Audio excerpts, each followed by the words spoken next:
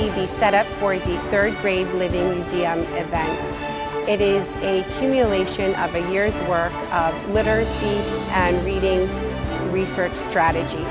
Students have chosen a person of historical significance that has made contributions to history. Students will be presenting their characters in a lifelike museum setting where students and staff and parents will be able to experience their research and contributions. This is an event that students have been looking forward to from the beginning of the year. They are extremely excited to be hands-on in the computer lab, researching and learning about their character.